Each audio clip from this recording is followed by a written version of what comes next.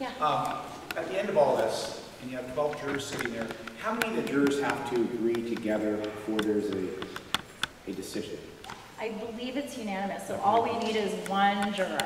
All we need is one seed of doubt to be planted. Well, it can go the reverse too. You can have 11 in your favor and one who sticks, sticks with the government. Um, no, it's still, it's still a hung jury, or it's still a, It's a hung jury, yeah, it- right. it could still have a retrial. But- But I'm not Oh, sure. I, I, well, actually, you, you, you got- you gotta be going for acquittal here, right?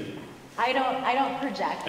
I want, I, I, I want Vernon and his family to just be done with it. Yeah, I, I'm I have a pretty strong feeling if they got a hung jury, that would be the end of it. Yeah. Yeah, But they, in they terms don't, of I don't think guilt- they would wanna go through this In terms again. of guilt, all we need is one juror.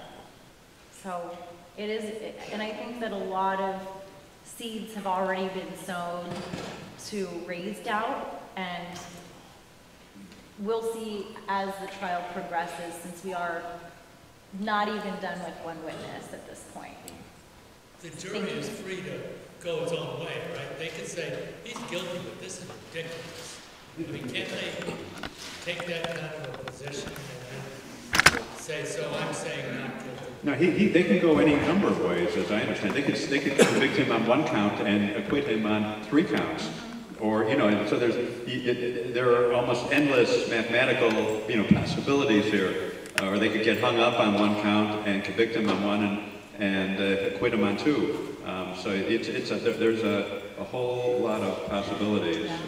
At this point, I mean, it's projecting what is going to happen, but either way, I, I know that this community or what we're doing here as a community together, it doesn't end with what happens this week.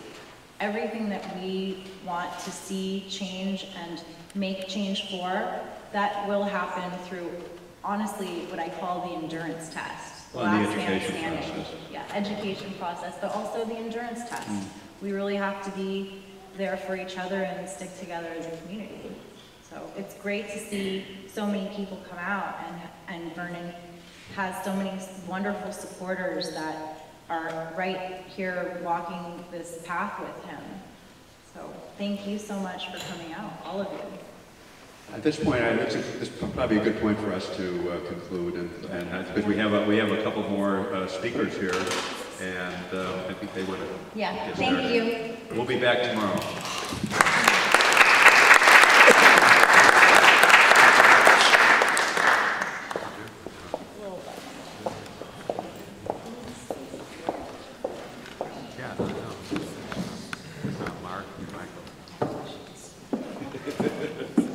Thank you. It's wonderful. Thank you so much, Ajna and David. Can you all hear me? Yep.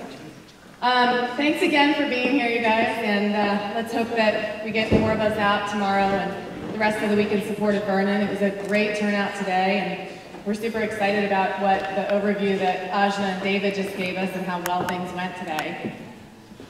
I'd like to introduce our first two speakers of the week. We have with us this evening Mark McAfee from Organic Pastures Dairy in California. And Mark is owner of the biggest raw milk dairy in the country. He's a wonderful raw milk activist and educator. And one of the superheroes of this whole movement, and a super great guy.